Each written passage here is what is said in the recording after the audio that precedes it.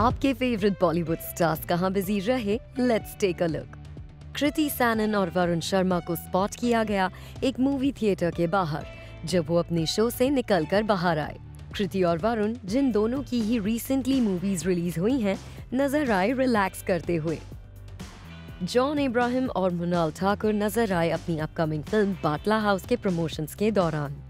वहीं शिल्पा शेट्टी को स्पॉट किया गया post her shoot for her show Shraddha Kapoor जो अपनी अपकमिंग फ़िल्म साहो को लेकर सुपर बिज़ी रहती हैं, उन्हें पाया गया साजिद नाडियाडवाला के ऑफ़िस के बाहर।